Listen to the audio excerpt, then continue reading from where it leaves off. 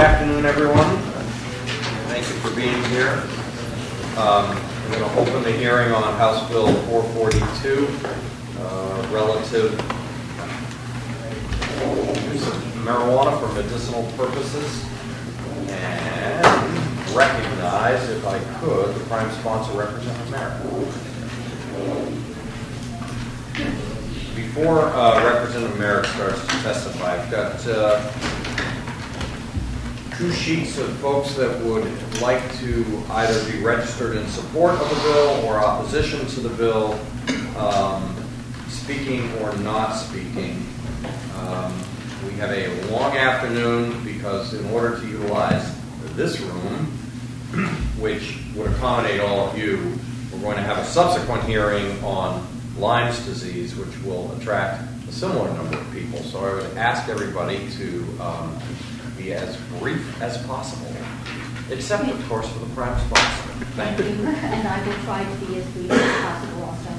Uh, Good morning, honorable senators, and thank you for allowing me the privilege of testifying before you today. For the record, I am Evelyn Merrick, I'm representing Coos District 2, which includes the towns of Stratford, Stark, Groveton, Northumberland, Lancaster, Randolph, Twin Mountain, Jefferson, Dalton, Whitefield. I think I've got them all. Um, And uh, I'm going to give you a brief synopsis, and hopefully there'll be people behind me that will fill in the gaps. Uh, HB 442 has come before this committee because it is about healthcare. And I hope to convince you that cannabis, which we know is often referred to as marijuana, should be a legally available therapeutic medicinal option, that it is specifically and solely designed to provide much-needed relief for patients suffering from debilitating medical conditions, life-threatening illnesses, and terminal diseases. These individuals desperately need an alternative to legally prescribed pharmaceuticals that for some has proven to be insufficient in easing their suffering.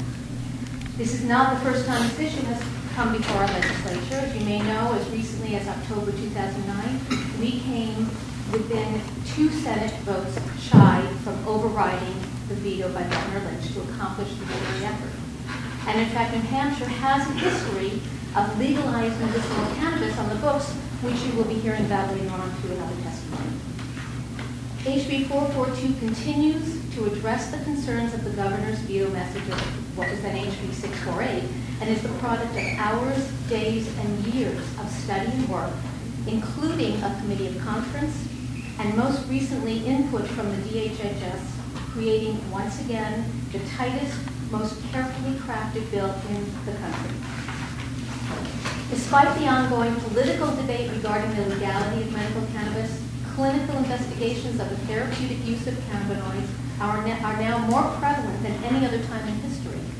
In February 2010, investigators at the University of California Center for Medicinal Cannabis Research, using a series of randomized placebo-controlled clinical trials, concluded that cannabis ought to be the first-line treatment, and I quote, first-line treatment for patients with neur- neuropathy, a condition associated with MS, diabetes, spinal cord injury, chemotherapies, HIV and AIDS, and other serious illnesses.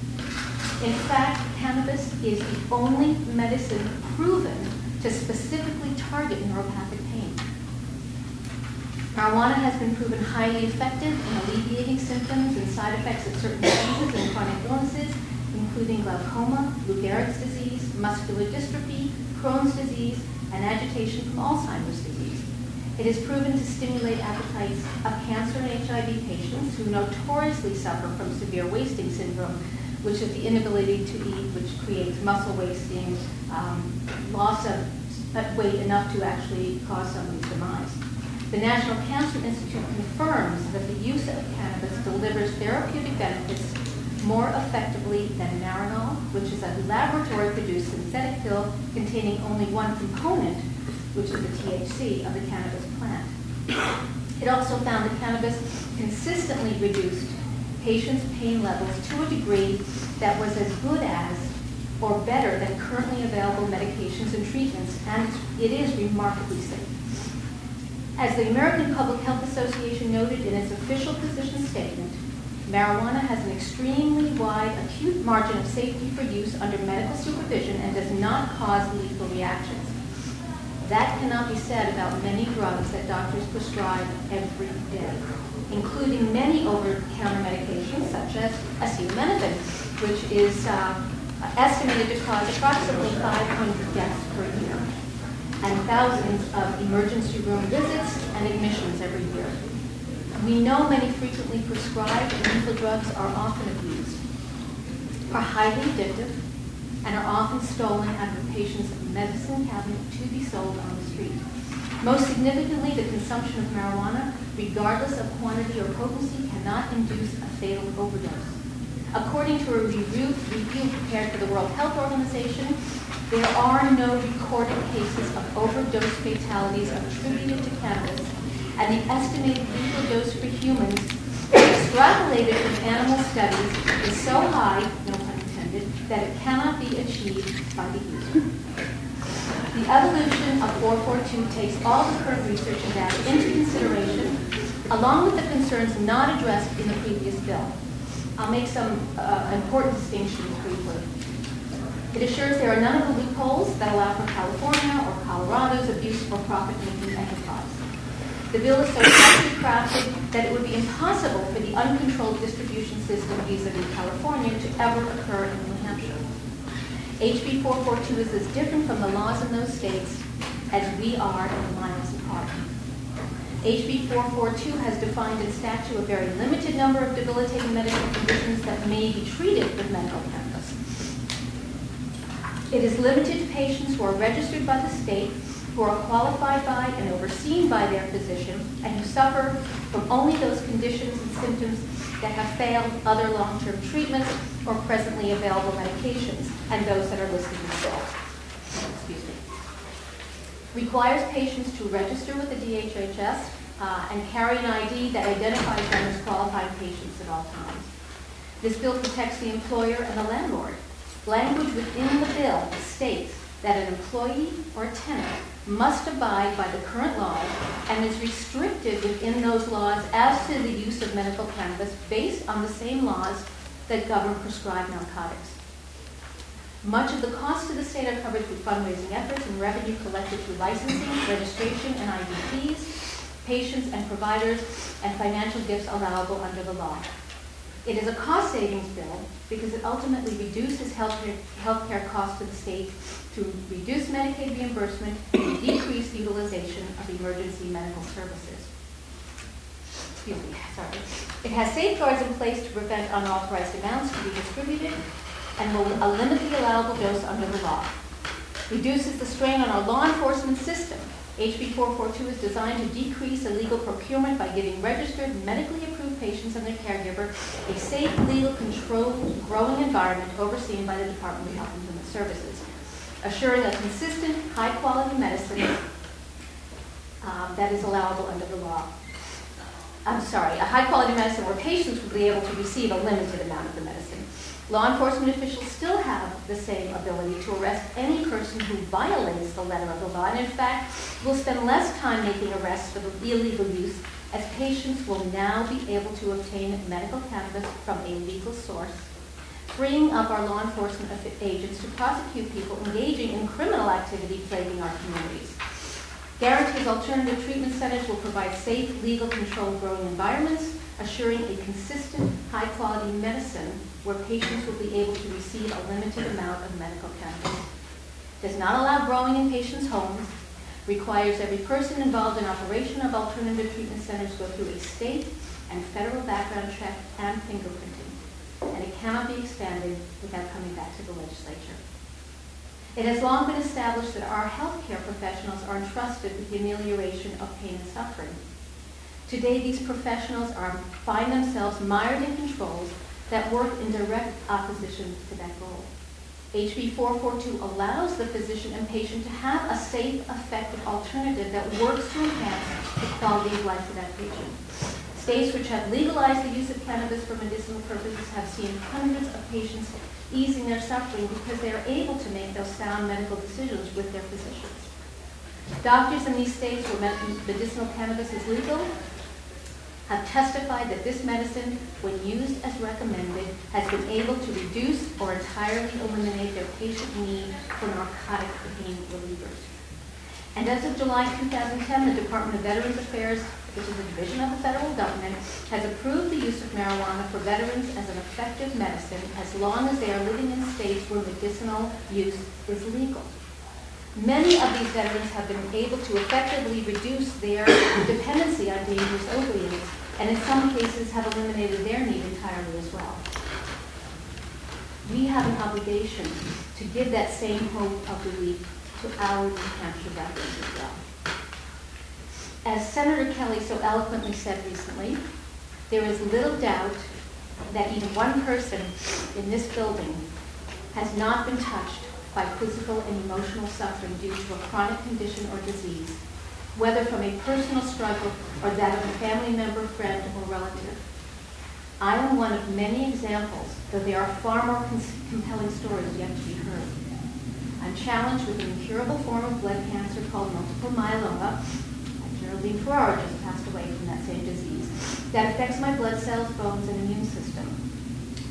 The treatments I have endured as a result of a stem cell transplant and subsequent ongoing chemotherapies to keep the cancer at bay continue to cause severe side effects.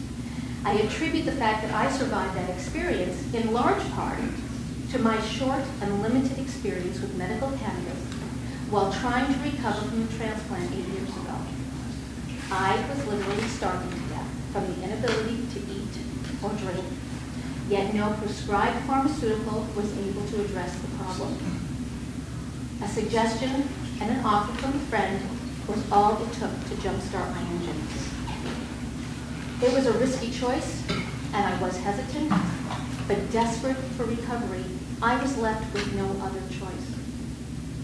HB 442 will give that choice to so many patients without fear of prosecution, arrest, or incarceration. I ask you to put aside fear, inaccurate information, and preconceived notions about medical cannabis. Please, don't discount, discount the suffering of so many. I ask you to protect the people, these people, the people that you serve. Provide them with a chance for a better quality of life during their suffering and in their dying days. Please pass HB 442 and send this very critical piece of legislation to the full Senate so we may provide hope to all our constituents in need.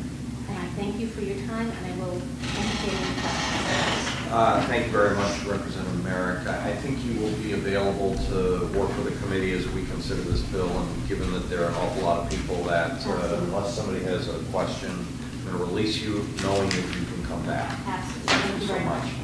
Um, I want to give special thanks to Representative Corrigan and Representative Cohen, who uh, both support the bill, but declined to speak.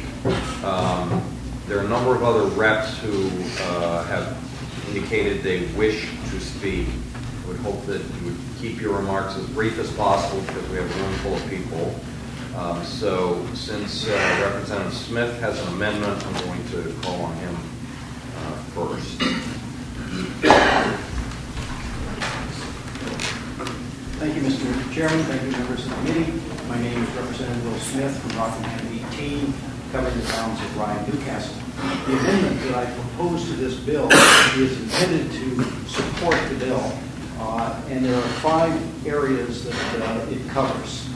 Um, The first, and I I hope your pages are labeled approximately the same as mine, but the first one is on page six, which is on section, which is section five. And this one is, uh, a, five A says, uh, no school or landlord may refuse to enroll or lease to or otherwise penalize uh, an individual solely for the status of uh, uh, being a registered qualifying patient.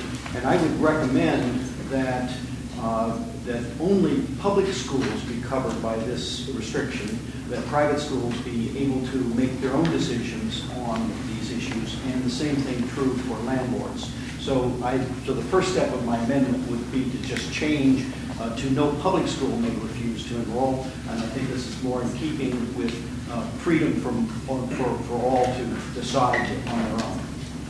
First, if I apologize, page six, section six. I I don't think it lines I- up, so I'm we're afraid just it going to have to doesn't. hear the testimony. So I will, I will then just state. Again, the- the- Representative Smith can work with the committee afterwards.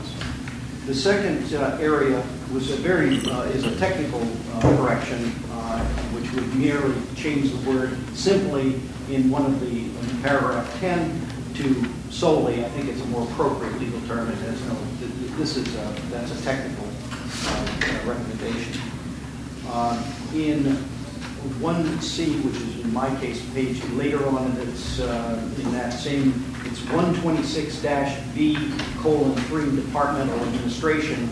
Uh, in 1C, the requirement is that if you're going to be uh, uh, applying for an identification card, you would need to give name, residential, and mailing address and date of birth of the qualifying patient, except that if the applicant is homeless, no residential address is required.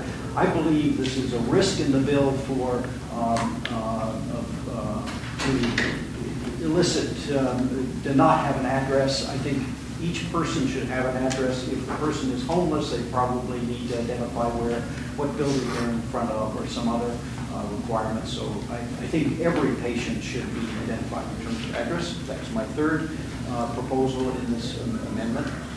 Uh, And the, on the, on the section two, uh, the, um, the the department shall not issue a registry identification card to a qualifying patient who is under the age of 18. Uh, There have been studies by, in the medical profession, and I had asked Representative Joe Hagan to be here to talk about that in more detail. Unfortunately, he was called away to to Washington, uh, and he left me his notes, which I will leave with the committee, uh, with respect to issues associated with marijuana use by younger people. And so I would propose that section be changed to be no registration card for anyone under the age of 21, which is consistent with alcohol, uh, uh, uh, use of alcohol uh, in our society. Uh, I could talk about that in greater detail, but I will leave his notes and I'll work with the committee in terms of uh, numerous uh, scientific and popular science-oriented, um, uh, both in the United States and abroad, having to do with the issues for the younger mind of, of the use of marijuana. Uh, And then the final uh, area that I would recommend, and I will leave this uh, proposed amendment with the committee, right here. And the notes are right.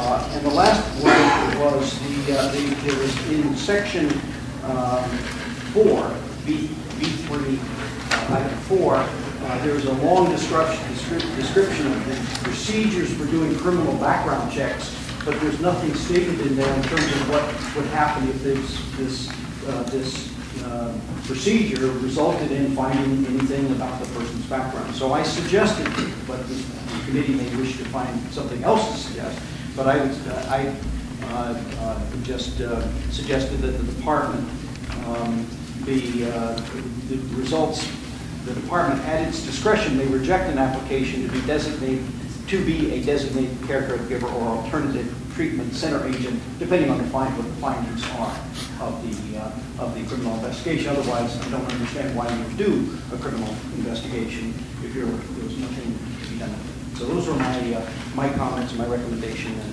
Very good, and you'll be able to work with the and I would be committee. delighted to work with you Okay, today. great, thank you very Thank much. you. Um, The chair would next call upon the co-sponsors, Representative uh, Shalman, Shalman, Schlafman. Schlotman, yeah, sorry. Senator, I have written testimony for myself. I'm here actually to read testimony from someone who couldn't come up from Virginia, so I can wait if you'd like to take another read If that's first. convenient for you guys. Then Just do get back to me, please. Okay. Um, Senator Forsythe, uh, do you wish to testify? Um, Sure, I'll be brief. Well, God bless you.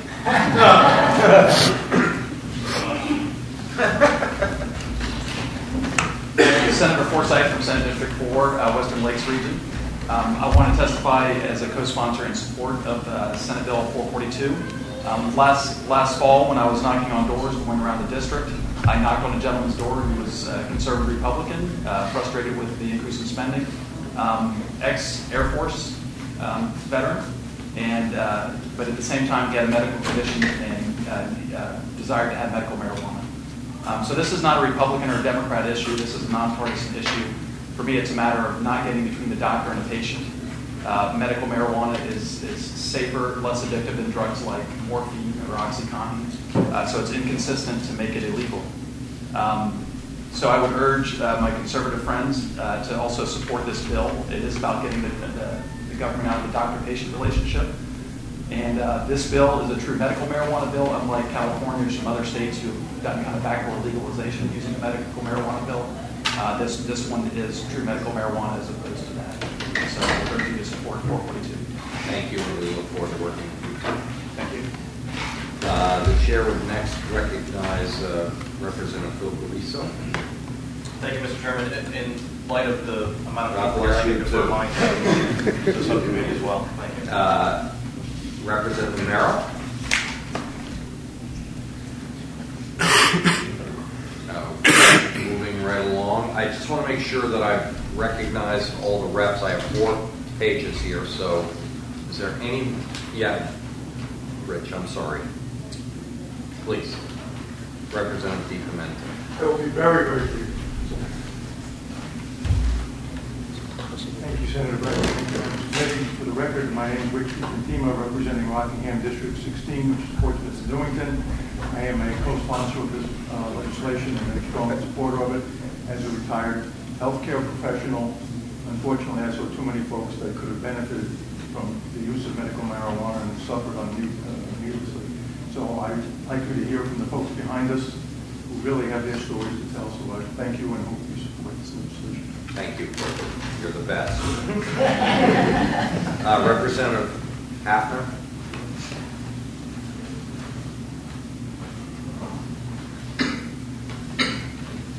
Uh, Hillsborough 27? Okay, sorry about that. Representative? Thank you, Mr. Chairman, distinguished senators. My story is a bit personal. Spent 26 years in the Army, retired as a sergeant major. Last February, when it was time to hear the testimony, since I'm on Health and Human Services Committee, I went into that testimony with the thoughts and opinions that no way in the world I was going to approve this or vote to approve it. In the military, we're taught that marijuana is bad, all drugs are bad. Well, during that testimony, there happened to be a young lady in the back of the room who was in a wheelchair. And um, when I looked at her, I said, my goodness, she looks awfully familiar. She looks just like my daughter. My daughter has muscular dystrophy, spinal muscular, spinal muscular atrophy. She was supposed to have passed away by the time she was 14. She is now 26 and doing fairly well. Uh, it has recently hit the lungs a year ago, which has made it more difficult for her, so she now has a trach that she has to live with constantly. After the committee received the testimony, I went back and talked to this young lady that was sitting in the back of the room in a wheelchair, and I, I said, do you mind if I ask what you have? And she said, yes, I have muscular dystrophy, spinal muscular atrophy. And I said, well, don't take me as being rude, but you look pretty good for spinal muscular atrophy. And um, you have to paraphrase looking good. In her case, looking good is not looking good in our world, but looking good in muscular dystrophy world. And in the muscular dystrophy world, she looked fairly well. Uh, my daughter is, and I have to be careful how I say it because I was quoted previously that I said that she looked like an African refugee that hadn't eaten many moons. And my ex-in-laws took quite offense to that terminology. So I will not repeat that. Please don't quote me on that. She's extremely skinny. Spinal muscular atrophy hits the muscles and does not allow any muscles to grow on the body, so uh, that creates a requirement that fat becomes a lot more important. So anytime we can help an individual eat more and keep more down and help the appetite, we want to go ahead and do that. Well, this girl had said that she had used medical marijuana in the past, and that had helped her to do that. My daughter, to the best of my knowledge, being a young adult, has never used marijuana. Um, And like I said, if you'd asked me in February, I'd have said, I hope she never does use marijuana. But since it would appear, and based upon a lot of the test results and a lot of medical decisions, that would, it would assist her in getting a better quality of life.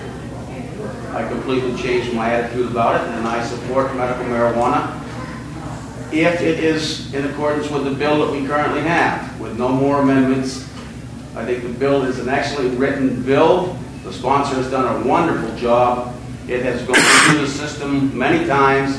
It has been beat up and beat down and brought back up, and don't compare this bill, please, with California or any of the other states where they randomly let everybody issue it and, and prescribe it, and that's not what we want here in New Hampshire. Three facilities, just fine and dandy. Let's give it a try, let's give it a chance, and see how it works out. If it doesn't work out, we'll come back later on and do something about it. Thank you very much. Great, thank you, Representative. You can ensure that uh, Robin has your identification for the record. Uh, Representative Pariso, I think, wanted to speak now. Thank you, Senator Bradley. It was first to not pass up the opportunity. So uh, I am Phil Greazzo, representative in West Manchester. And uh, House Bill 442 is a bill that would allow sick and dying patients in New Hampshire access to a medication that can either help them with the very fight for their lives or help them to obtain some relief in their final days. The bill is simply about patients' rights and the relationship between that person and their doctor. I've lost two grandparents to cancer, and I'm sure I'll lose other members to it. I challenge anyone in this room with a sick and dying relative to sit here and tell me they would go against their doctor's recommendation during a health crisis, especially if it meant life or death for them or their loved one, or because the federal government refused to allow the states access to any given drug. What I find most disturbing is while states like New Hampshire struggle with making this available to our sick and dying, the federal government has been operating their own program all along. They even have their own medical marijuana farm in Mississippi. So why do we continue to allow them to tell us our sick and dying can't use it while they grow it for their own designees? How can anyone hold up federal law as the reason to oppose this while they're being so duplicitous? We don't want government-run healthcare for a reason. They shouldn't be involved in the decision-making of doctor-patient relationships. Now, something most people don't know is that New Hampshire once had its own medical marijuana law, and it lasted for nearly 20 years. In 1981, a staunch conservative Republican senator put forward Senate Bill 21. Senator Sanborn, not this Senator Sanborn, uh, was a man in his late 60s who, at the request of a sick and dying constituent and her doctor, sponsored the bill. While researching the background on New Hampshire's uh, law, his widow disclosed that he did it because it was the right thing to do. Please do the same. I found other interesting connections from this bill to that one. When it was heard by this committee back in 1981, it was also chaired by a very strong Republican. Her name was Vesta Roy. Her committee unanimously passed this measure, and I respectfully ask nothing less from this committee. It was signed into law by Governor Hugh Gallen and stayed in effect until 1999. It was killed with a simple amendment. From that time until now, countless sick and dying New Hampshire residents and their families have been subjecting themselves to the criminal element and potential prosecution in order to save their lives or obtain relief. This year, according to the American Cancer Society, 7,810 New Hampshire residents will be diagnosed with cancer, and 2,660 of them will die from it. If we do the math, a conservative estimate would show roughly 85,000 people over the last 13 years without this law may have jeopardized their safety and freedom to obtain it. My friend Representative John Reagan says if we look at the cost of medication the state pays for in respect to certain patients, this measure may actually save the state a million dollars every month. We also have our military veterans to consider here. If you go to the VA hospital and take a deep breath, you'll soon realize this medication is being utilized there as well. Do we really want to see these people arrested? The Veterans Administration doesn't think so and issued a directive that allows it to be used in the VA hospitals of the states that have this law in place. I ask you to support them. Now, law enforcement will always have the duty to protect and serve, and these are the most vulnerable people they should be protecting and serving. Officers still have the ability to continue current practices. This only takes away a revenue stream from drug dealing criminals. Now, in 1998, prior to the bill that passed the House and Senate, vetoed by the governor and lost by two veto overrides, there was a poll taken. 71% of New Hampshire residents then supported this. 87% Democrats, 56 Republicans. That number has gone up. This is not something that people are concerned about when it comes to drug policy. They understand the issue and they want to see their loved ones be able to have full access to anything that will give them uh, relief or help them fight their, their, their their battle. So that's all that I have, and I submitted a, a packet regarding Senate Bill 21, the calendar from the House and the Senate, actually the journal from the House and the Senate, the amendment that killed it, the, uh, the executive summary from the National Institute of Medicine, who was the sponsor of the study that the government did on this, who says that using cannabinoids is, is a favorable thing to do. I also submitted the, uh, the drug death data that Senator, uh, Attorney, Attorney General Kelly Ayotte submitted in 2006 that shows what prescription drugs people have died from in that, in that timeframe. This was not one of them. And uh, then there's the facts from the New Cancer Society. I thank you very much and ask that you pass Bill 42. Thank you, Representative Greazzo. Uh, A couple of more reps who have signed up and don't wish to speak, Representative Manuse from Derry and um, uh, Representative McKay uh, do not wish to speak. I believe I've gotten through all the state reps who have signed up and wish to speak. Representative Pilliod. Briefly, please. Yes. Pleasure naming others. I'm Jim Pilliod, I call myself a polyatrician, but that's okay. From Belmont. I have a one-minute story and a one-minute comment, if I may. The, I have in my, my record, the March 3rd, 1981 report, or the report of that period with another House bill, which talked about everything that I but I'm going to not bore you with that. I had a patient call me, it was about two years ago, and she said, I'm sick and I need help. Happened to be a friend of mine anyway, so I went to see her, and she was diagnosed already with cancer and was dying before my very eyes. And she said, I can't sleep, I can't eat, I can't enjoy anything because of the cancer. I said, well, I'll tell you what, your children, two sons especially, were well known to the local police department and were constantly harassed about the possibility of carrying drugs or whatever. So I said, can you get your kids to get you some marijuana? Yes. Have you tried it? No.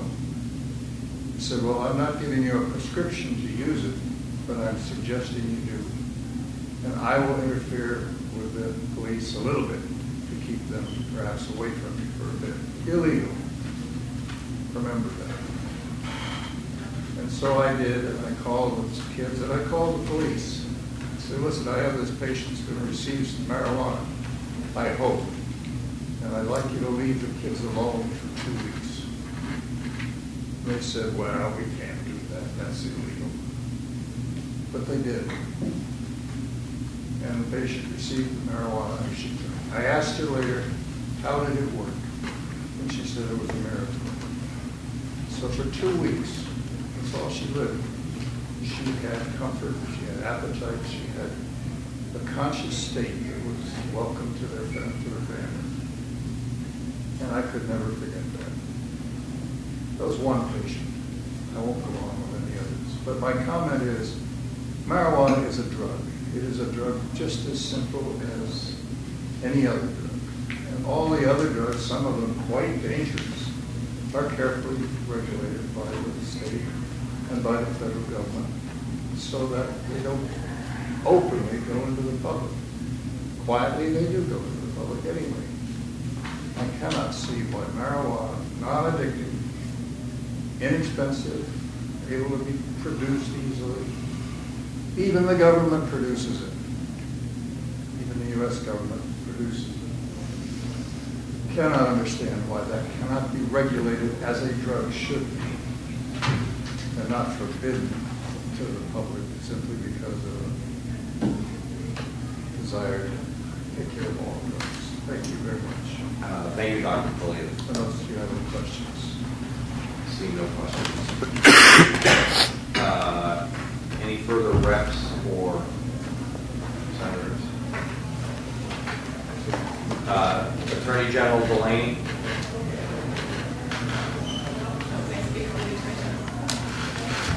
Oh, he escaped. That's going to put him on the hot seat.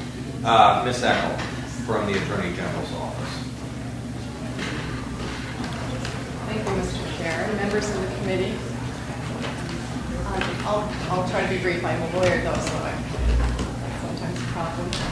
Um, For the record, my name is Karen Eckel, and um, I'm a drug prosecutor. I work uh, at the Attorney General's office, and I prosecute drug cases. Um, The issue on the table um, is not the bill's uh, official intent or um, purpose uh, that's driving the bill. Um, Everybody understands that. Um, The real question for this committee is whether the, the law's potential to uh, benefit a few um, will outweigh the law's potential for causing um, harm and abuse. And we oppose the bill because we believe that if passed, it will do more harm than good. On its face, the bill appears to have a reasonable goal of um, allowing limited access of uh, marijuana as a medicine to a select few. On its face, that would appear to be a reasonable, manageable goal. In theory. However, in practice, it is not. Every other state that has tried to do this has not been able to do that. And we believe, since, if you look at other states that have passed this law, there's a rampant, rampant um, circumvention of the law's official intent.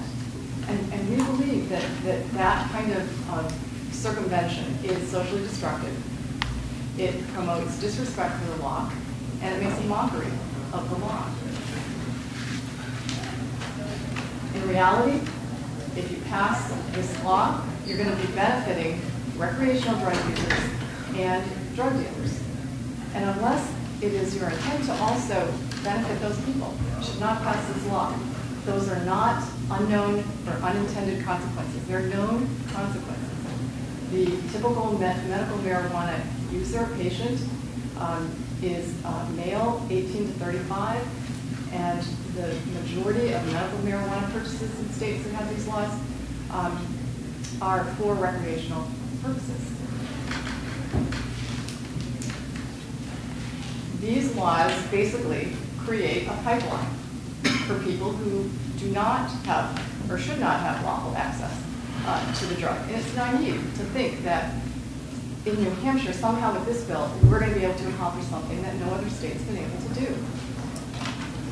I can tell you, as a drug prosecutor in this state, that um, we are seeing the fruits of other states' uh, enforcement failures. It used to be that the majority of marijuana coming into the state uh, came from Mexico.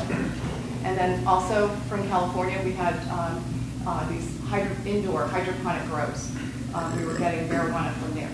It is no longer the case. The majority of marijuana that's coming to our state now is coming from state-sanctioned medical marijuana growers uh, that are operating, cultivating marijuana outside the parameters of their state laws. We are getting this marijuana. It is extremely potent marijuana. It's, um, it's cultivated by professional marijuana growers. The THC content is very high. Um, it is designed to have very strong effects on its users. And this is the recreational marijuana that's in our state. Now,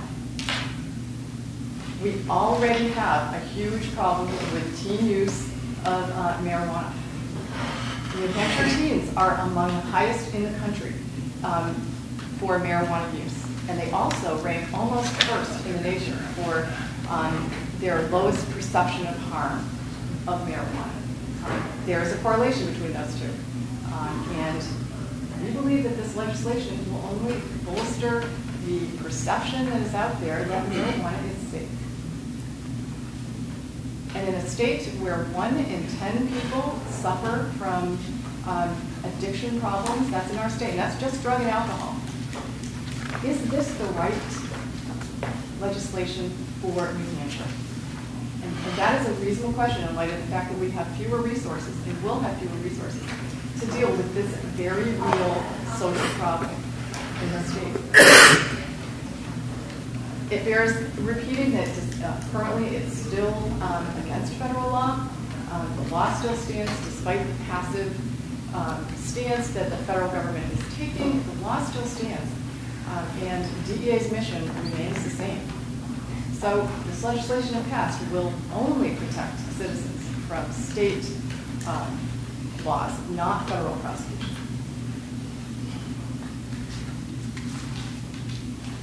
I believe those are the primary points that I have, and for those reasons, the Attorney General believes that this legislation will negatively impact more people than it will help.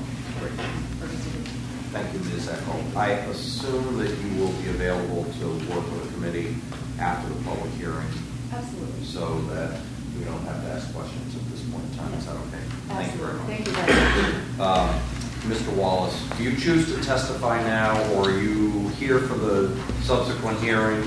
No, I'm here for this one. So you'd prefer to testify? Yes, I would do that now if I might.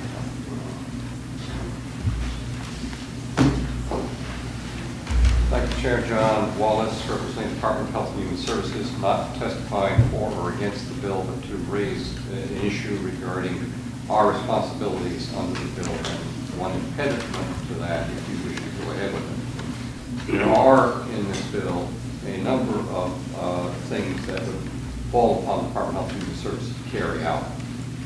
We would have to issue identification cards to the qualifying patients, develop an application form, review the application material, verify that, do criminal background checks on designated caregivers, as well as an application process for them. We need to track the numbers of patients and, and the um, alternate treatment centers that they're attached to.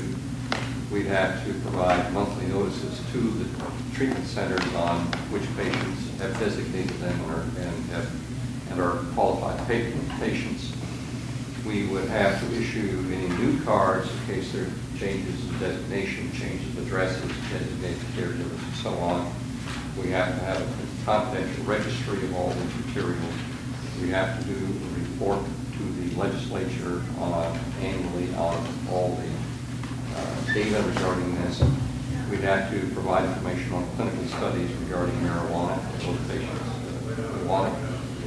We would have to issue rules for the treatment centers. Uh, We'd have to have oversight of them. We'd have to do inspections, we'd have to do criminal background checks on their employees and uh, board members and so on. We'd have to screen new employees that come in. And for the second time in the bill, we'd have to have an annual report. This, uh, this one more specifically to the health ministry's oversight. Fine, we can do that. The problem is that there is no appropriation attached to this. Nothing that gives us the resources to do that. In some other world and time back when we had more capability to take on new projects, perhaps we could have done that. That world is long gone. We do not have the staff and resources to undertake this and get it in place so that the money from the revenues could come in and that we could budget it, appropriate it, and be able to pay the staff. There's no, if, if you want this to happen, it's going to have to have some front loading of funds in order to, for us to create positions and hire staff that are going to develop the rules and carry out these responsibilities. And, and it is, the bill is designed ultimately, uh, it- it's a requirement that the fees, the revenues offset the costs of it. But that doesn't say how to get out of the box and get it in place. Uh, That's our biggest concern. Um, I've spent a lot of time looking at various versions of this bill, drilling down in detailed issues, and I gave the sponsor comments, and a number of those concerns were addressed in earlier versions of this, but I'm available to meet with you again, as anybody else is, to go over detail. Uh, We thank you very much, Mr. Wallace. Uh, I'm sure if there are more questions, we will get back to you. You know where we live. We do. Um, Okay, one more time for any uh, state representatives. Seeing none, the chair would recognize uh, former Senator Burt.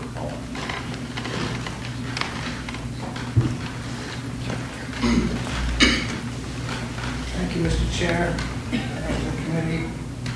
Had a chance to work with some of you in the past. Uh, I was in the state senate from 1990 to 2004. And I'll just tell you, uh, it's good to be alive. I might not be if I did not complete the treatment, very difficult treatment for hepatitis C. I guess it had been in my body for about 35 years or so. I was shocked when I got the diagnosis. The biggest problem with treating hepatitis C is keeping people on medication. It's a 48-week treatment. And oftentimes, people have to do two rounds of 48 weeks. I was taking interferon and ribavirin and some other stuff. And if you've ever had the hangover or the flu, it's like combining those two all that time. And it's difficult to keep people on the treatment. I no longer have hepatitis C, which is great. My liver had some damage from it. I had to stay on it. The stuff worked for me. As I say, oftentimes people have to do two 48-week treatments. And as you can imagine, it's tough to keep people on it. It's really hard. I will admit, I snuck marijuana twice. And When I did that, I felt normal.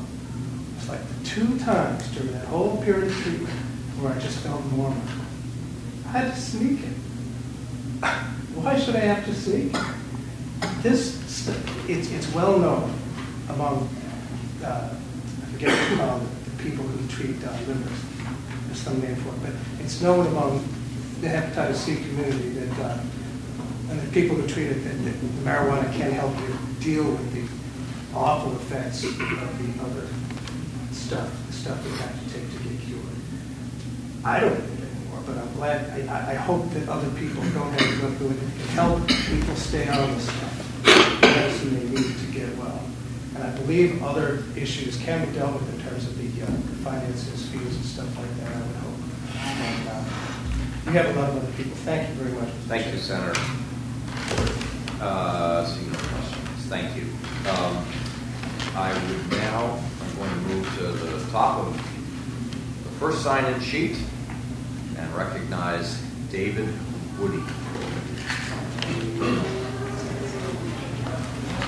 There's one for each one. One here, I gave one to the Attorney General prosecutor, he's walking out the door. He probably doesn't have the courage to even look at it. And uh, you have to make another copy for your second one that needs to be recorded. Uh, We can handle that. Thank you. I'm handing you those pamphlets to, so that you can briefly look through them to understand who I am. I served in the United States Navy for 22 years. I held a top secret security clearance and I flew for over 10,000 hours as the senior NATOPS evaluator flight engineer on the EP-3 Orion aircraft, the same one that had the mid-air collision with the Chinese fighter about 10 or 12 years ago. Um, Part of my career, as you can see in that folded uh, packet, I used to ride in a centrifuge a uh, device pulling eight, nine Gs and an ejection tower simulator, which is exactly that. That you, uh, experience the same forces of an ejection minus the wind blast. We were developing a protective clothing to help defend the troops from chemical biological attack after Gulf War One, because Saddam Saddam Hussein some of our people. Ironically enough, my son's now in the United States Marine Corps, in the U.S. Marine Corps. With 14 years in, he's been to Iraq with two, with the follow-up designs of that suit in his battle pack. Um, as you can see, looking at the MRI pictures, my spine is trashed, uh, especially my cervical area. The only reason I'm able to be here today is because I had a cervical epidural last Friday at the Boston Hospital in uh, the VA Hospital in Boston.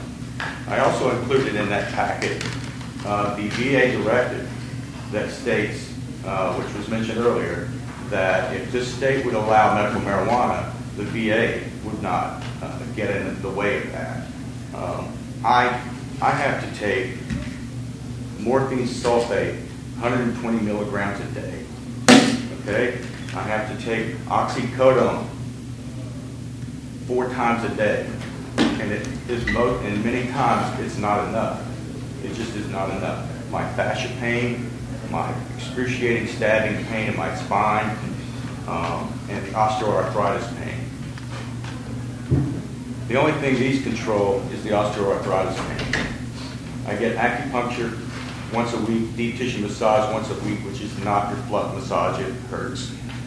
And um, um, chiropractic three times a week. Thanks to Congressman Bradley here, I have that uh, access to that through the VA now.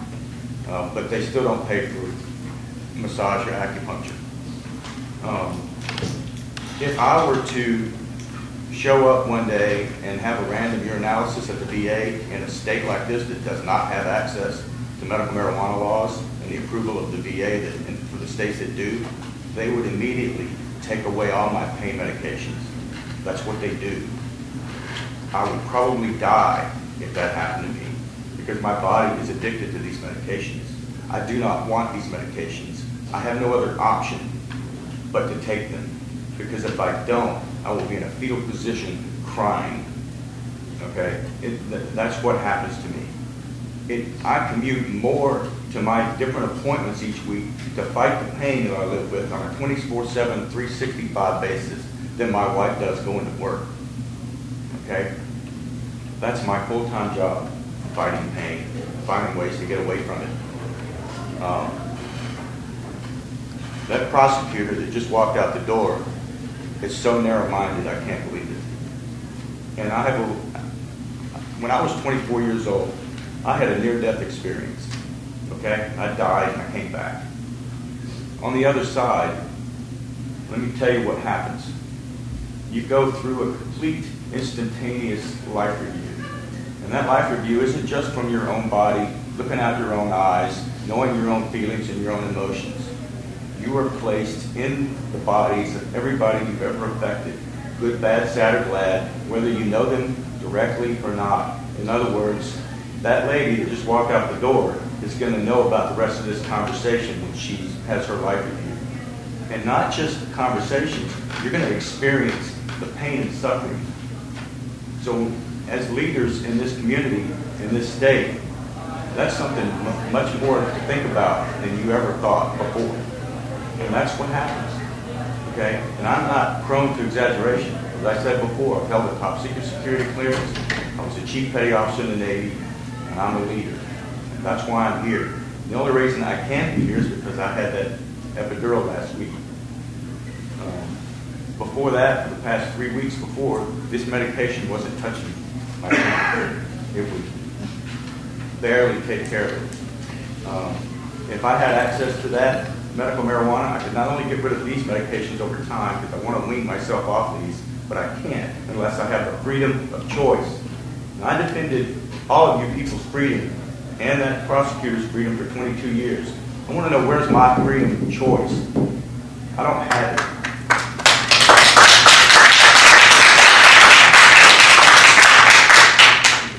That, that, concept alone is enough to make this, for you people to work hard to make this law uh, a real, effective law that can help people. That's what we're here for. We're here to love one another unconditionally, help each other, take care of each other, take care of this planet, and love God and grow our spiritual soul. That's the purpose of life. And if, and if somebody's more concerned about their political career, then I've God, God have mercy on them when they have their life renewed. That's all I have to say.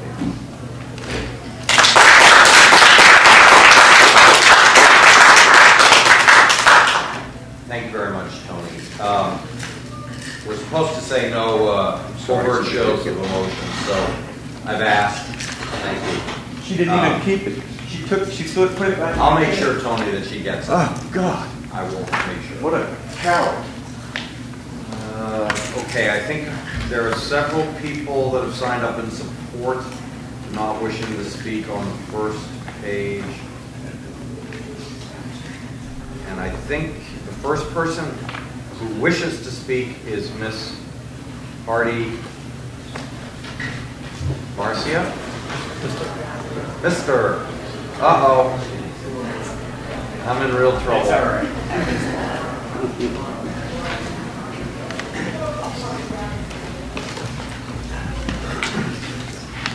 letting me speak. My name is Hardy Masha. I'm from Canterbury, New Hampshire. Um, I wasn't planning on coming here this morning when I woke up. I was planning on doing taxes, but got a Facebook message, read through the bill, and there's something, a serious flaw, I think, in the bill that needs to be addressed.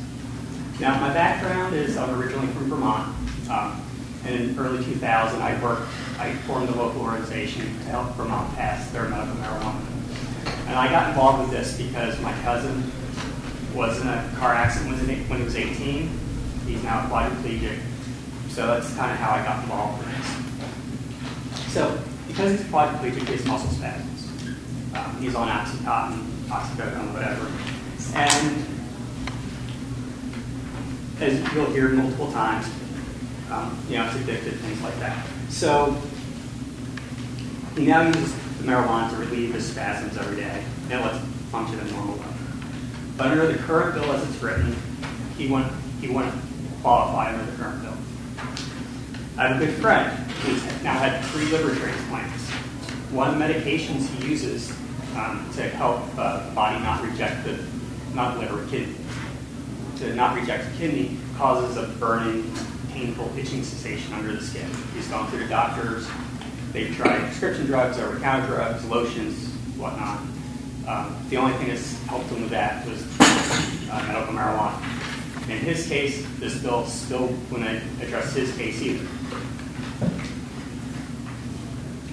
And finally, my wife, she has a chronic vomiting issue. She's gone to the doctors, they've run all kinds of tests. It's not AIDS, it's not Crohn's disease, it's not slow bowel syndrome. They don't know what it is.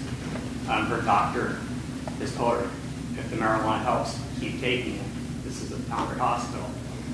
Um, but, and if she doesn't take it, she's only 95 pounds right now. If she doesn't take it, she drops below 95, she'd probably be over, over 100 pounds. But she wouldn't be, she wouldn't qualify under this bill either as it's currently written. And the reason my cousin, my friend, and my wife are not covered under this bill is one simple word under the debilitating medical conditions section, um, chapter 126B1BA. And the problem with this section is that it uses and instead of or. So what happens is my cousin who has these muscle spasms is covered under the B section, but he doesn't have any of those terminal conditions, terminal disease or chronic condition. Same with my wife, same with my friend. Um, so I have submitted a recommended, recommended amendment to this bill. I don't know how this works, but basically replacing and with or and removing the presence of or, striking that.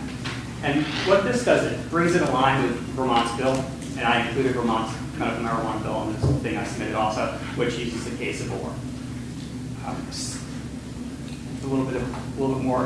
One of the things that I don't know if they did and to try to limit this bill even more than what Vermont did with their bill, but in Vermont's case, even with an or, there's only a couple hundred people in Vermont on using medical marijuana. I'd urge you to work with Bill's sponsors on that kind of uh, suggested change that the committee will take up or not. Yeah, thank you. Great, thank you. Uh, I would next recognize Colonel Robert Quinn of the New Hampshire State Police.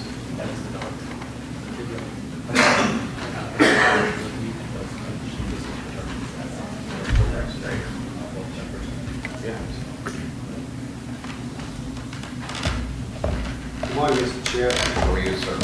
Honorable members of the committee. I'll be brief. I know that uh, Assistant Commissioner Sweeney plans on coming to represent the Department of Safety. Uh, I just wanted to offer a couple of points.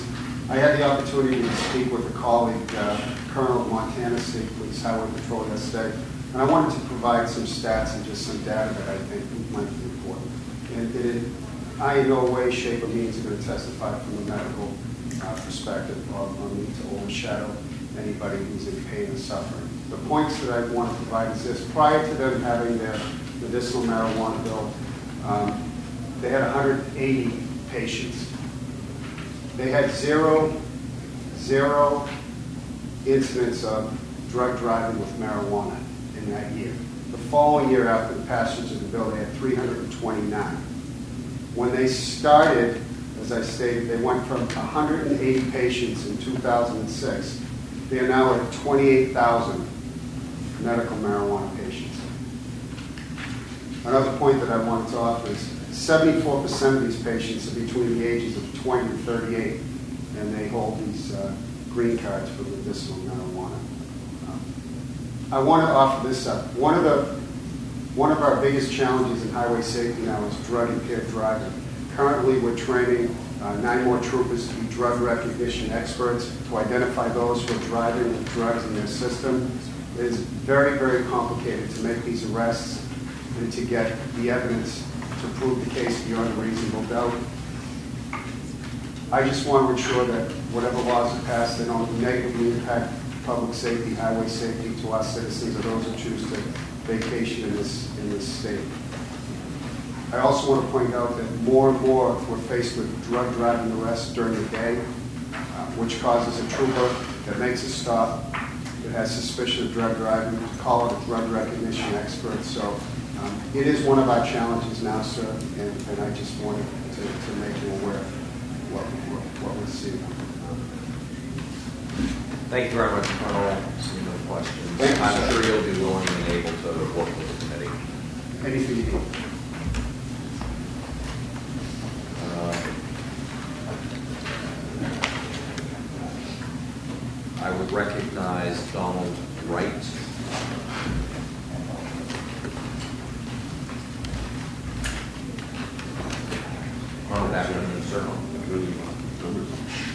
My name is Donald Wright. Um, Most folks know me by the name of Ted. I'm from Tuftonboro, down the street from your mother, or my, I'm one of your constituents. Um, I've lived in New Hampshire all my life. I spent four years in the Coast Guard, another three years in the Army National Guard here in New Hampshire. In 1991, I was married. In 1993, my wife was diagnosed with breast cancer. It was stage one in the beginning. The following year, it became stage four when it moved into her lymph system. She's since uh, been categorized as stage four metastatic disease, with metastatic disease, which at the time was basically a death sentence. Uh, I'll spare you too many details, but you should hear some of the story. Um, we almost lost her back in 2000 when they decided to go through high-dose chemotherapy and autologous uh, bone marrow transplant. Um, the problem there was you start the, the therapy at home, and um, she lost 17 pounds in the first week. She couldn't keep anything down. Nothing worked. Compazine, there was a list of drugs that they tried to work with, and nothing worked. The doctor took me out in the hall and said, try marijuana. We're pretty sure that will work.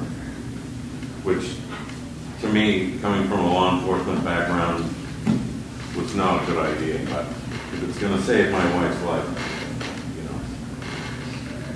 Um, in the fall of 2007, we discovered that the disease has now moved into the bones of her pelvis. Her hip, actually fractured her pelvis, her hip, and her back and she has tu- had tumors on her lungs.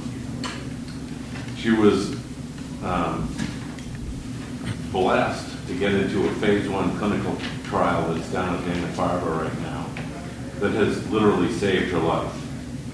Um, you can't even see it on the scan. Get this CAT scans every nine weeks. But the medication that they're giving her, uh, she's been on this trial for two years now. And the me- medication causes a great deal of nausea. And again, we're told, try marijuana. It works because nothing else worked. So being in Massachusetts and having some friends down there and knowing that it's been decriminalized down she tried it. And it worked. Sat down, had dinner, finished her dinner, was fine. So this works. I know. And really, that's all I've got to say. If we can save her life, she's got the problem. One of the problems is she's lost 32 pounds in the last six months, and if she loses any more weight, they'll take her off the trial. Take her off the trial, she's, we're lost.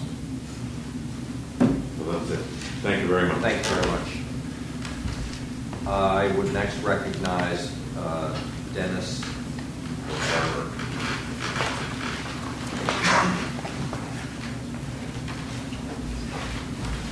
Good afternoon. Um, Dennis Barber, I live in Hampstead, New Hampshire with my 11-year-old son and my wife Charlene. Um, September of last year, I was diagnosed with stage four kidney cancer, renal cell carcinoma. I had metastasized to my collarbone. Um, Since September, I've had to go through a complete nephrectomy, which is the left kidney had to be totally removed. Um, The pain from the bones being unsettled by the cancer migrating to my collarbone um, is still daily, on a daily basis. The chemotherapy prescribed, because kidney cancer doesn't respond conventional radiation therapy or other types of chemo, I have to take Sutent, um, which is a 28-day regimen with a 14-day break. I've been doing that for about five months now. Um, My family has to watch this every single day, violent nausea, the pain. Um, I'm allergic to acetaminophen, ibuprofen, um, registered with the doctors. I get bad blotchy hives. The opiates that they have me on now don't really control is morphine sulfate. Um, it Makes me violently ill, but it's the lesser of evil, and oxycodone, both highly addictive. Um, With the help of my doctor um, and the support of my family, they flew me to California in January um, for three weeks. Because it's legal there for medicinal use, I got to know from my doctor, all my doctors, by the way, all five of them, oncologists and Brigham and Women's, Dana-Farber, um, are totally on board with the medicinal value of marijuana. Um, When I got there, I was on morphine four times a day, the oxycodone four times a day, all while developing a deeper addiction and a higher tolerance to these medicines. Um, the marijuana was, it was, it's like night and day. It, the pain, the nausea, it was all greatly diminished by the use of this cannabis. Was there for three weeks. Um, I was able to come off the morphine as a result of, of the cannabis. Now I'm looking at, um, you know, listening to, to all of these statistics about how bad it is for, uh, you know, crime and all that. I, I, I pay attention to OxyContin, highly addictive, always in the news. A lot of druggists can't keep it in the store because they're being robbed. Um, I'm just saying, my quality of life um, at this point has been really miserable since I was diagnosed. Um, And all the doctors are saying that at this point, with my condition, it should be all about quality of life. I'm 51, I'm not the 18 to 35 category. Um, You know, as I said, my son and my wife have to watch this every single day. And being allergic to all of the other conventional pain meds, I I have no other choice but to either move out of the state, go somewhere where it's, where it's legal. And I- I'll admit, um, looking at this bill and looking at the way it's run in California, California is very sloppy, it's, it's, it's completely abused there. And I think this bill covers a lot of the issues and deficiencies um, that they're dealing with right now. Um, I just wanted to go on record saying that, you know, I, I, this really hurts not just me, but my entire family has to watch this. And something so easily and readily available and has such an impact on pain and suffering. I would just ask you to consider that. I think anybody that's against the bill, if they had to watch what my wife and son watch every single day, it would change their mind in heartbeat, you know, given, given the, the pros and cons on both sides of the fence. Marijuana, medical use of marijuana, I think, is the lesser of all evils. Thank you very much, sir. We now recognize Ellen McBlum.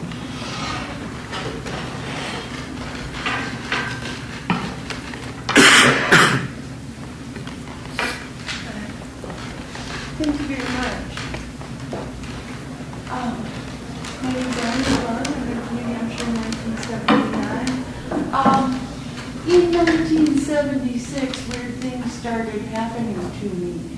And a doctor mentioned the possibility that this could be multiple sclerosis. And I knew two people who had multiple sclerosis. One was a 26-year-old woman um, who was in the nursing home, I was pre-nursing at the time.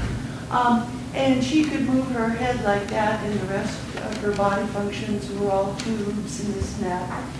The other person, um, had, um, he had problems, but then one night he threw up.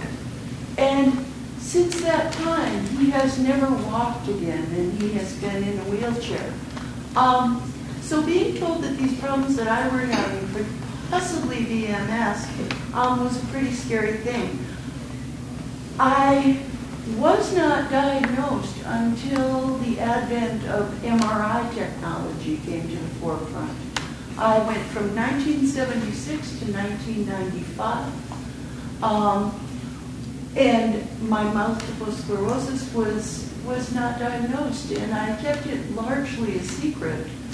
Um, you can't always see what's wrong with somebody. And um, the last time I was going through this, somebody in the Senate, the last comment in the Senate was, well, I saw a guy on the news in California and I couldn't see anything wrong with him. Um, imagine spending 20 plus years with an undiagnosable disease and then hearing a comment like that to defeat this bill. Um, I've seen it help people with cancer. Um, a muscle spasm, the only thing I can compare it to it is having a Charlie horse. And I have muscle spasms um, in my upper back, my hands, my arms, and my legs. Um, and they, it's pain, it's pain. Um, I was a little dismayed uh, when I didn't catch whether it was a representative or a senator. Um, said that uh, he would um, uh, prefer that this bill uh, be given, be enacted for people um, at 21 years of age because I was 19 years old when my multiple sclerosis started. Um, this is not something we're talking about where people are going out to do something recreationally. Um, this is medical treatment.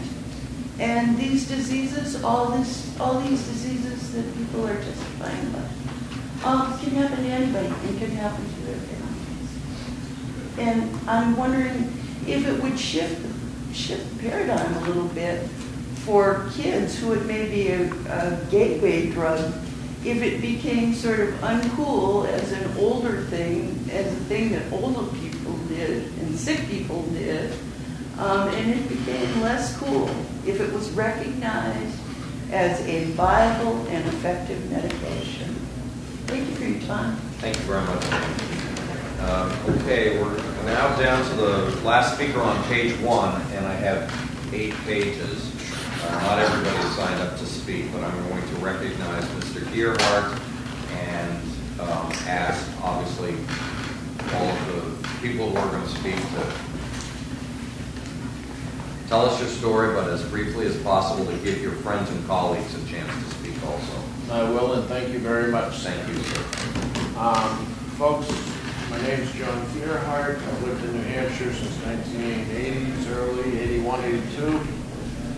And when the job problems, I've had back surgery at L4, L5, herniated disc at L5, S1, and it's, they cannot do surgery on that particular secondary disc because of um, bone degenerative disease. Also, there's other medical problems with inside. I've gone through a lot of um, regular treatments with the um, epidural steroid injections. At the current time, excuse me, about five years ago, four years ago, I went to California trying to locate work. I went out there and the doctor out there I went to see to continue my prescriptions that I was receiving here recommended cannabis instead. Um, he said the cannabinoid that, that affects the brain does a lot better. It hits a certain point, trigger point in the uh, sciatic area. After six months of one puff an hour, not to sit around and with a group of people, and I am far from the 18 to 35-year-old group of people they're talking about here. Um, I was able to take myself off the medications that I was taking. Now, I'm not fortunate enough, I did not bring, because I don't want to fill your table up here, but the gentleman that showed the pills, I am taking 200 milligrams of morphine a day. I am taking two to four per Percocet a day at 10 milligrams apiece. I'm taking Soma muscle relaxers three times a day, and Valiums also. And when I was able to go to California within six months alleviate 90% of that pain, occasionally, yes, we all spasm our back, I might take a Percocet, that was one thing. But to sit in the pain, it, it's, I'm not looking for this to be legalized. I think it should be between a doctor and a patient, and I really hope you people can justify and see that, that we're not looking for legalization. We're looking for doctors, patient, and health care for the people of the state of New Hampshire. Thank you very much. Thank you very much for your time. Uh, Kirk McNeil, do you want to, uh, okay. No, go ahead, please.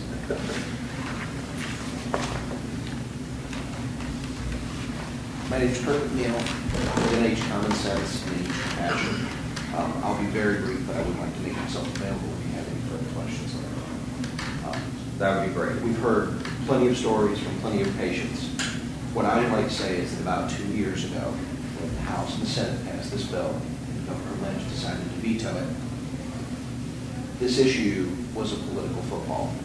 Many of the people who testified then as patients are no longer with us today. They couldn't come because they're too sick or they're dead. This is not a political football. This is about people's lives. And we can talk about the rest of it later. Thank you, and I I assume uh, you'll be willing and able to work with the committee. Absolutely. Thank you. Uh, Willie Farrell, I believe.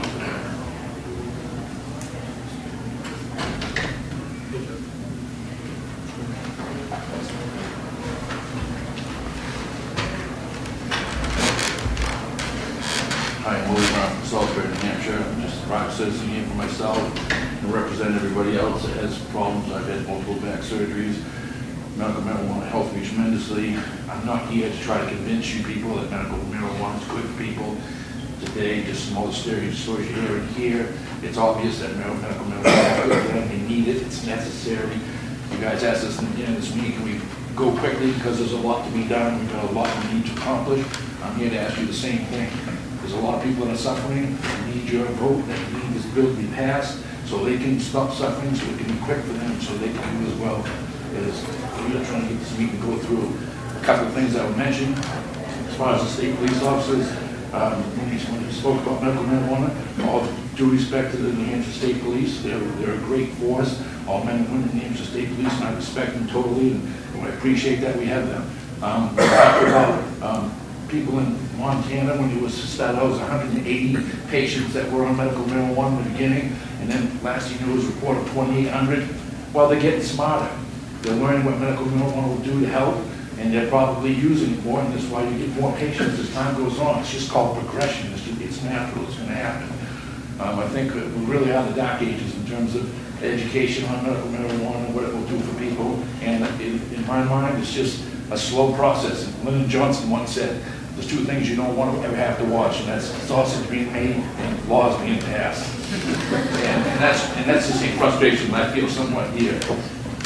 So what I want to say today is um, there's a couple other things the attorney general said, and made comments that you know it's a mockery of the police department to say you know that some people can smoke marijuana, some people can't. I wonder what she would say if her mom had cancer and she couldn't eat or she couldn't sleep, but medical marijuana would help her sleep. I wonder if she would say to her mom, Mom, I know, I know you haven't been able to eat for months, and I know you have for the last two weeks, and you've been very happy, and it's made you feel good. And I know you've been able to get some sleep, but you haven't been able for months, but it's against the law. I'm sorry, you just can't do it. You, you might want to move to another state where they allow you to do it, but that's what you're going to have to do in order to do it legally. She wouldn't say that. You wouldn't say it to your brother, your mother, your father, your sister, your husband, your wife. If you love somebody, you want them to be treated well. So uh, I, I I ask that you don't, you consider the- what we're here for, and that's for the people that need it. And when she says, you know, so, you know, we're gonna pass it for a few, and take a chance on a larger scale of problem, yeah, those people that are suffering, yeah, you do want to do it for those few. And just like any- with the Department of Human Services, we're limited, we have, we cut on resources, we can't do this, we can't do that. It's like any progression anywhere, nothing's easy. If you're gonna, we, we went into Iraq and other countries trying to get these problems taken care of, try to stop democracy, has it been easy? No. Do we have the resources available to go in there and do these things? No. We're- we're doing it because it's for a good cause, it's necessary, it's important. So I would just want to say that please stay focused on why the bill has been made, what the people need. These people, I, I say thank you to all of you sh- for showing up today, thank you for your service to the country. Thank you, officer, for all you do for our state, and that's all I had to say. Uh, I would next recognize Mary Ellen Colvin and Doug Colvin. Do you want to testify together? Are Together? Uh, She decided not to, but I'd like to say a few things. Mr. Colvin? Mr. Colvin. Yes, please. Oh, thank you.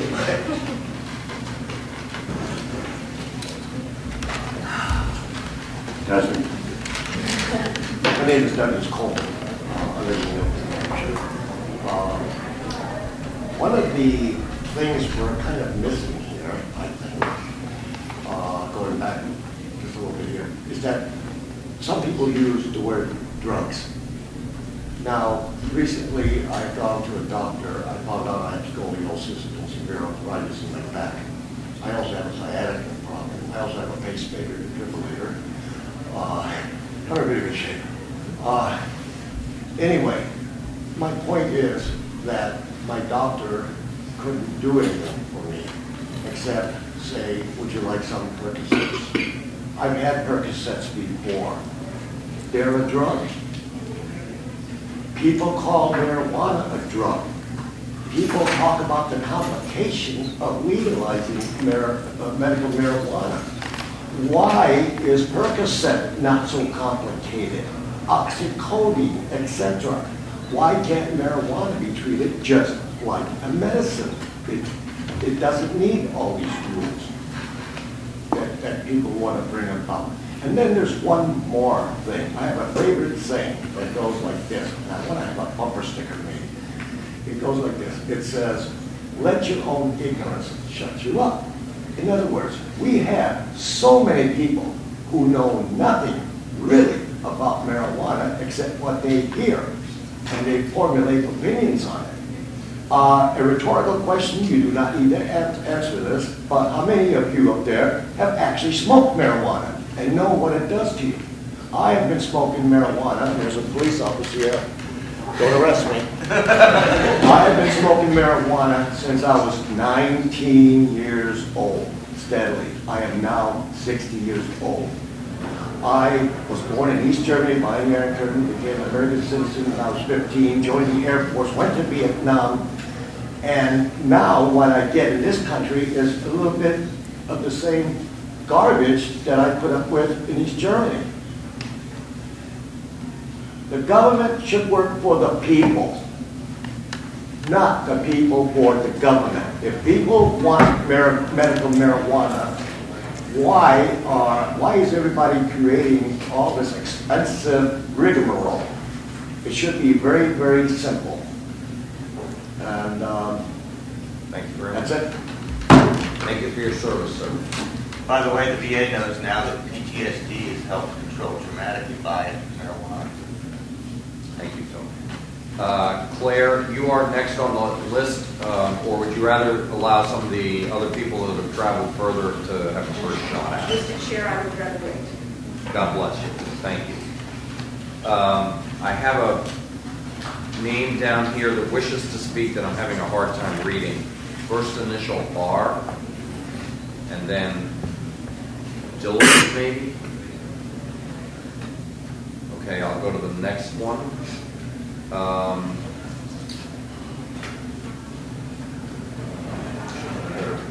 I apologize.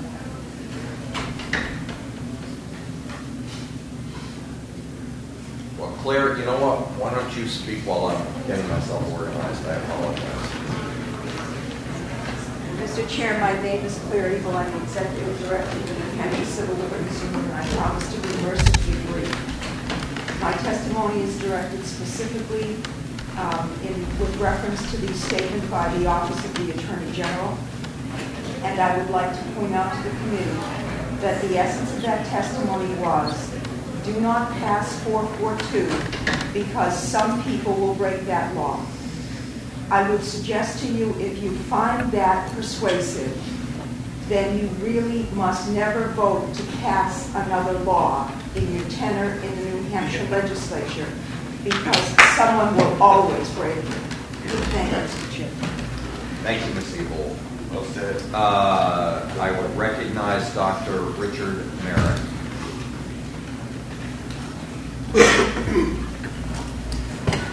Honorable Senators, thank you for allowing me to speak today. My name is Dr. Richard Merrick. I am an MD. I am licensed in New Hampshire for, since 1988. I've been a physician for 30 years. I'm board certified in family medicine, sports medicine, and emergency medicine.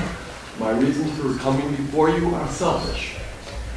As our population ages and we treat more and more illnesses uh, effectively, it has become a more and more frequent occasion that I am placed in a moral um, dilemma that I cannot find a resolution to. I'm sworn, as you know, to do all that I possibly can for my patients' care, to alleviate suffering and cure their ills, and to do no harm. Unfortunately, the laws of this state do not allow me to do so at times.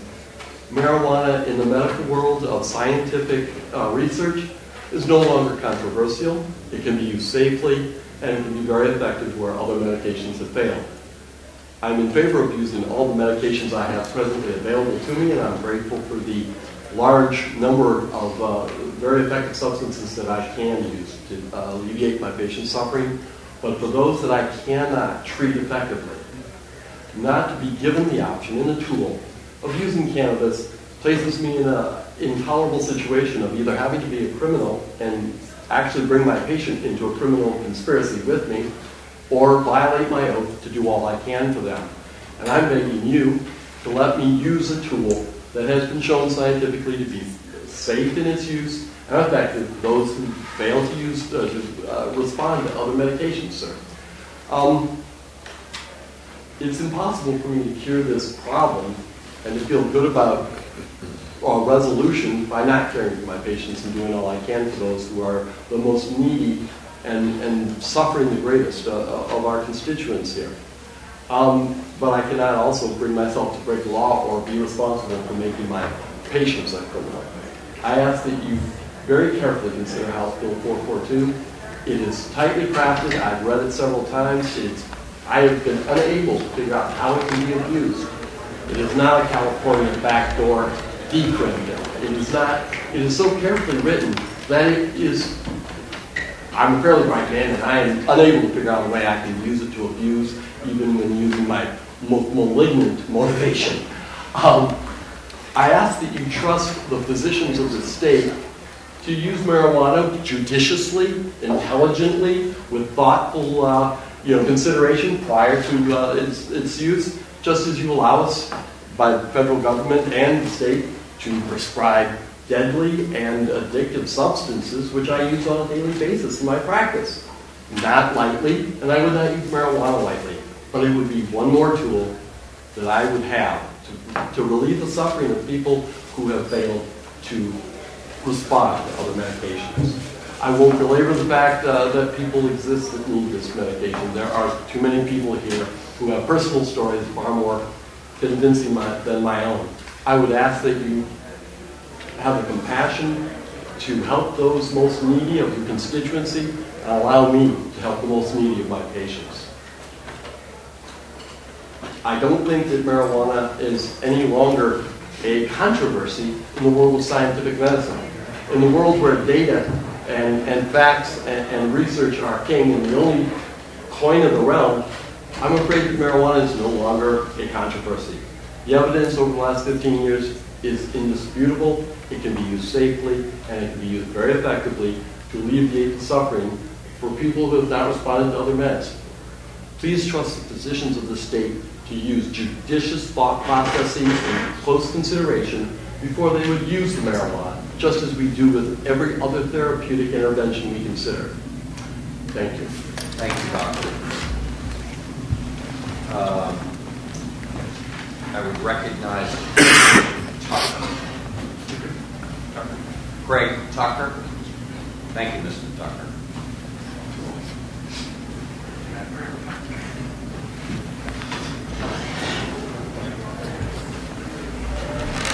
I'm Craig Tucker. Um, I have a pain management doctor. I'm sure we've all seen him on TV, um. Um, I do 300 milligrams of morphine sulfate a day. Use 600 milligrams a. I have eight credit vertebrae in my back. In 1990, my doctor told me I would never walk. I fired him.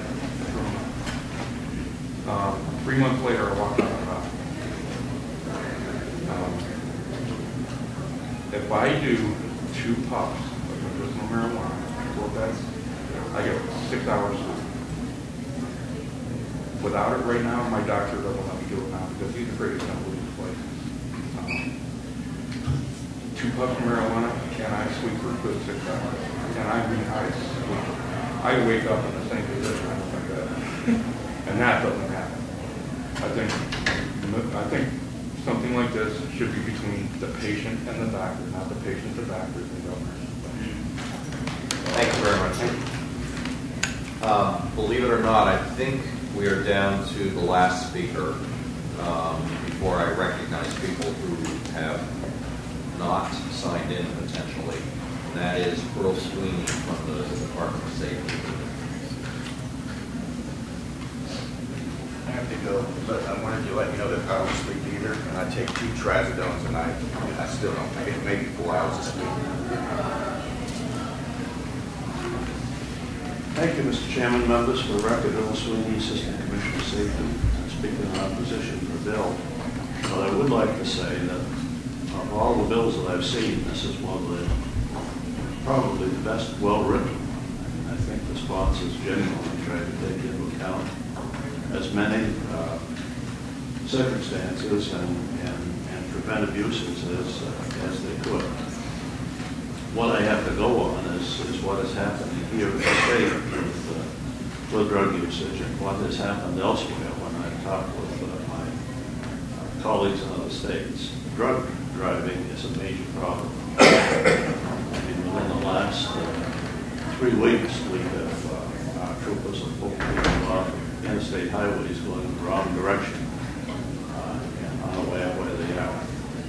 Uh, The problem with uh, driving under the influence of mar- marijuana is that the THC content of marijuana varies so widely that there's no level like .08 uh, with uh, alcohol that you can predict what the, uh, what the effect would be. There's no legal presumption uh, as far as impairment.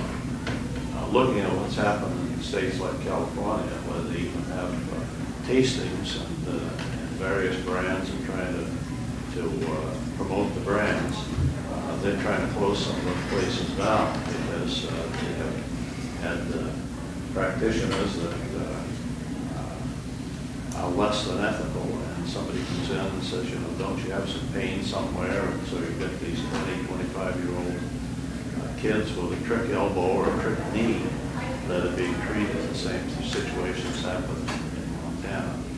So my concern is with the expansion of this, once it starts, uh, I think there's going to be big money in it to become a- an industry, and there'll be a novel uh, instinct to try and increase the usage.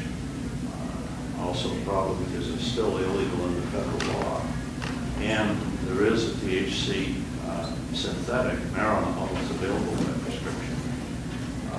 So I would urge that, that I don't think the bill is ready for prime time. Uh, If you do pass it, I would recommend maybe an automatic repealer, uh, which would give you, say, 2014, uh, an opportunity to either have to reenact it or it would uh, expire. But the problem there is, of course, once you open the door, it's going to be very uh, difficult to close that door. So uh, I, I would urge you to go slow. Uh, Again, I do compliment the sponsors because I think they they went to a lot of effort to try and uh, make it as good as they could. Thank you, Mr. Sweeney. I'm sure that you will, like the sponsors, be available to work with the committee. Yes. Uh, Unless I missed somebody um, who wanted to testify a first time, I'm going to give you a chance if I missed you with apologies. Uh, In that case, Representative. Thank you, Mr. Chair. I'm going to skip the long introductions things um, because I am actually going to read a bit, not the whole thing of testimony from a gentleman from Virginia who could not make it up, who wants to speak to the federal piece of this. Um, It's hard not to respond to some of the claims that the AG made and some of the Department of Safety issues. Um, And as you said, there will be a subcommittee, but there, you know, I think if you look at some of the claims that were made and you think about any drug that the FDA approves and the addictive value of those drugs and the addiction problems with those drugs, we would not be approving any more drugs in this country.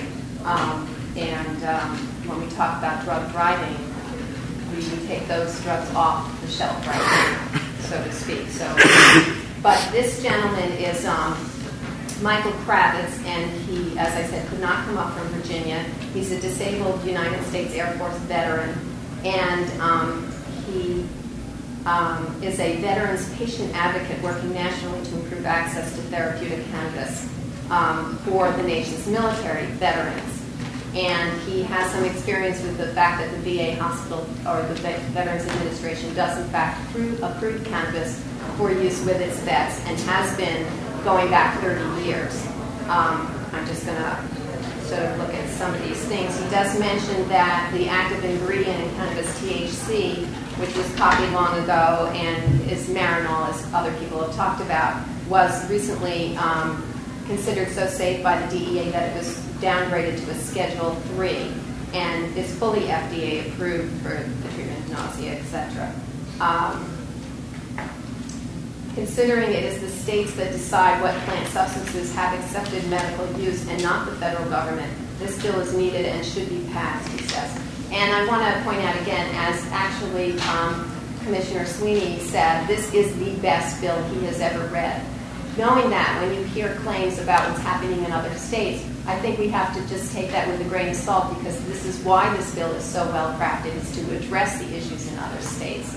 Um, This gentleman, and I will hand in his testimony, cites some federal cases regarding the use of medicinal marijuana and um, just in in the end, uh, the towards the end, says veterans suffering from horrible nerve-related pain that is very difficult to treat with standard medicines not only get relief from cannabis, as we've heard firsthand from other people, but find they can get more relief or even with even less pain medicine. Easing the suffering and reducing the negative side effects um, can be life-changing to them and their families. So rather than repeat the wonderful stories you've already heard, I just want to emphasize his point is the federal government is already approving this. The federal government has already stated that they will not go after states in terms of their policy with regard to that. So um, I would not want to prevent us from looking at good policy because we think there might be a side effect because again, if we did that, then we would want a lot of these legal prescription drugs taken off. Thank you very much, for Representative. And under Uh, my testimony. Thank you. Seeing no other cards, yes, sir. Can I take uh, less than a minute, sir? Yes, sir. My name is Garrett. I'm a resident of Concord, and I just wanted to speak on the proposed amendment that would make it so anyone under the age of 21 would not be able to uh, be given medical marijuana. I think that's a bit of a mistake, and I think it's viewing uh, the issue as though it is sort of a recreational thing, which it's not. There's no other medicines that I'm aware of that are age restrictive. Uh, I'd imagine the alternatives to marijuana, like uh, Vicodin and other prescription drugs, uh, have the same potential dangers in the developing body. So uh, I think if the developing, as much as there is an issue with uh, the developing body being given drugs, uh, if it's necessary, if a doctor approves it, I don't see why there should be some sort of age restriction. Uh, that's all I've got to say. Thank you. Thank you very much. I'd like to say one more, sure. Sure, please. Uh, If you, ma'am, could identify yourself for Robin, that would be great. My name's Sarah LeVay, I'm from Wilmot, New Hampshire, I'm a registered voter. So what I would like to say is that I've heard over and over and over again from testimony here that when it came to suffering, people chose to break the law in order to ease their suffering. So if you do not pass this bill, you are forcing them to either suffer or break the law. People who are going to use it recreationally are going to use it recreationally regardless of whether the people who are suffering are allowed to do it legally.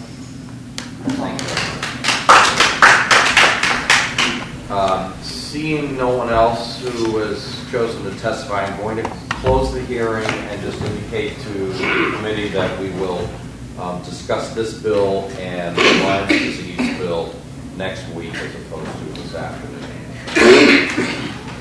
Thank you. Uh, We'll take a two-minute break.